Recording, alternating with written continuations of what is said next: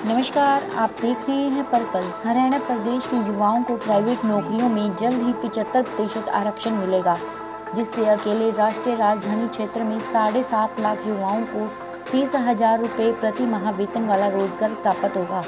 इसके लिए भाजपा व जन नायक जनता पार्टी का कॉमन मिनिमम प्रोग्राम जल्द ही जनता के सामने होगा। यह बात जजपा के युवा प्रदेश अध्यक्ष रविंद्र सागवान ने भिवानी में पत्रकारों से बातचीत करते हुए कही। वे यहाँ जजपा की जिला युवा इकाई की बैठक को संबोधित करने पहुँचे थे। इस मौके पर युवा प्रदेश अध्यक्ष ने कहा कि भाजपा व जजपा के सामूहिक घोषणा पत्र को लेकर दो बार उच्च स्तरीय मीटिंग भी हो चुकी है तथा जल्द ही प्रदेश के युवाओं को पिचहत्तर प्रतिशत रोज़गार प्राइवेट नौकरियों में दिए जाने के फैसले पर मोहर लग जाएगी। उन्होंने बताया कि अकेले एनसीआर क्षेत्र में 10 से 12 लाख रोज़गार प्राइवेट क्षेत्र में है। पचहत्तर प्रतिशत की शर्त लागू होने पर साढ़े सात लाख का लगभग प्रदेश के युवाओं को रोज़गार प्राइवेट क्षेत्र में मिल सकेगा। इससे युवाओं के लिए रोज़गार की समस्या कम हो जाएगी और उन्होंने कहा कि रोज़गार के अलावा किसानों के कर्ज माफ़, मजदूर व महिलाओं के लिए घोषणा पत्र में शामिल की हुई कल्याणकारी योजनाओं को भी कॉमन मिनिमम प्रोग्राम के तहत प्राथमिकता दी जाएगी। और इसी के साथ देखते रहिए पल पल की एक खास खबर।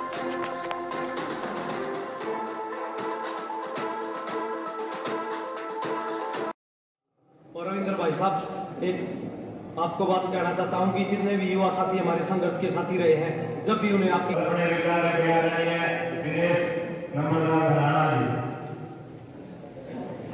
और किस एजेंडे को लेकर के आगे चल रहे हैं आप? देखिए सबसे पहले तो हरियाणा वासियों को शुभकामनाएँ देना चाहूँगा।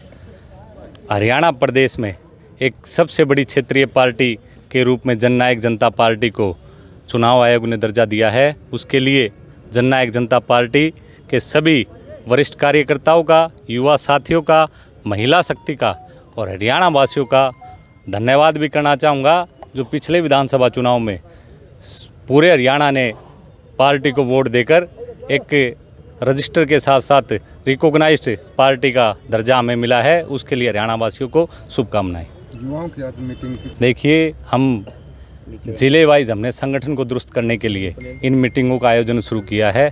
हम आने वाले दिनों में बूथ लेवल पर जाएँगे। अपने हल्का अध्यक्षों की हमने ज़िम्मेदारी लगाई है, युवा साथियों की ज़िम्मेदारी लगाई है।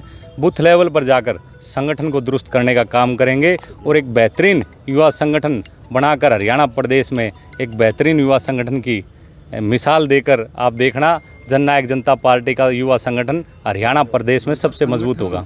देखिए, रोज़गार की जहाँ तक बात है, योग्यता के आधार पर जो साथी हैं, उनको रोज़गार भी दिया जाएगा और कामों की बात है, जो सामूहिक काम है, आदरणीय दुष्यंत सिंह चौटाला जी ने एक प्रेरणा लेकर आदरणीय स्वर्गीय चौधरी देवीलाल जी से राजनीति शुरू की है, जो सामूहिक काम है, जो किसान का काम है, गरीब का है, मजदूर का, उनको आगे बढ़ाने का काम करेंगे। जो किसान का कर्जा माफ़ की बात है चाहे महिलाओं के सम्मान की बात है चाहे युवाओं के रोज़गार की बात है जो हमने पिचहत्तर परसेंट आरक्षण की बात कही थी उसको हम जल्द ही हरियाणा प्रदेश में प्राइवेट नौकरियों में लागू करने का काम करेंगे। बात कही कुल होंगे आप उस पर सरकार अपना काम कर रही है आने वाले दिनों में देखना आप कर्जा भी माफ़ होगा युवाओं को नौकरी भी मिलेगी महिलाओं को सम्मान भी मिलेगा। देखिए उसके लिए हमने अपने अपने पार्टी के जो पदाधिकारी हैं उनको नियुक्त किया है वो एक बार मीटिंग में बैठे हैं दूसरी मीटिंग की शायद पंद्रह तारीख तय की गई है और सरकार बने हुए सिर्फ़ एक महीना हुआ है, सवा महीना नहीं हुआ है। इतनी जल्दी कोई भी सरकार से अपेक्षा आप नहीं कर सकते। सरकार सुचारू रूप से चलाने के लिए कम से कम छः महीने लगते हैं। छहत्तर संघ का चुनाव अगले साल होना है, इस साल नहीं होना। जब चुनाव होगा, जब बात करेंगे उस पर और करवाने का भी प्रयास करेंगे आदरणीय दिग्विजय।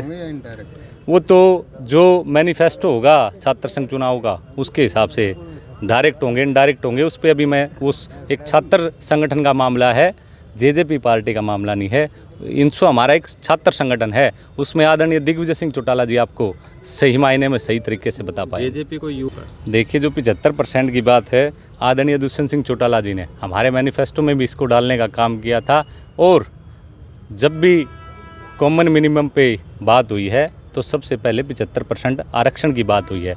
हरियाणा प्रदेश को आज सबसे ज़्यादा किसी चीज़ की ज़रूरत है तो युवाओं को रोज़गार की ज़रूरत है। उस रोज़गार को देने के लिए प्राइवेट उद्योगों में हम इस नीति को लागू करने का काम करेंगे और देखना जल्द ही समय तो लगेगा लेकिन जल्द ही हरियाणा प्रदेश में हरियाणा के युवाओं को उनका अधिकार मिलता हुआ आपको दिखाई देगा। अधिकार मिलता तो कितने युवाओं को रोज़गार मिलेगा से? हमारे हिसाब से खाली एनसीआर एनसीआर में 10 से 12 लाख युवाओं को जो प्राइवेट उद्योगों में 30 से प्लस तनख्वाह लेते हैं तीस हज़ार से प्लस। ऐसे रोज़गार हैं अगर वहाँ पचहत्तर परसेंट मिलता है तो साढ़े सात लाख युवाओं को रोज़गार मिल जाएगा। और साढ़े सात लाख का मतलब अब वहाँ सिर्फ़ एक से डेढ़ लाख हरियाणा के युवा हैं। साढ़े सात लाख युवाओं को रोज़गार मिलेगा तो हरियाणा प्रदेश में बेरोज़गारी की समस्या अपने आप ख़त्म हो जाएगी। हम किया था और जब भी कॉमन मिनिमम पे बात हुई है तो सबसे पहले पिचहत्तर परसेंट आरक्षण की बात हुई है।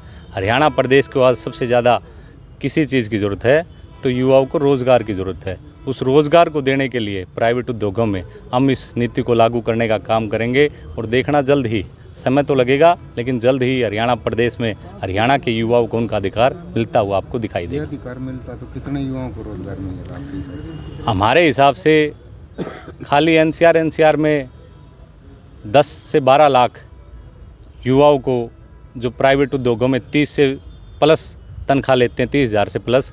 ऐसे रोज़गार हैं। अगर वहाँ पचहत्तर परसेंट मिलता है तो साढ़े सात लाख युवाओं को रोज़गार मिल जाएगा। और साढ़े सात लाख का मतलब अब वहाँ सिर्फ़ एक से डेढ़ लाख हरियाणा के युवा हैं। साढ़े सात लाख युवाओं को रोज़गार मिलेगा तो हरियाणा प्रदेश में बेरोज़गारी की समस्या अपने आप ख़त्म हो जाएगी।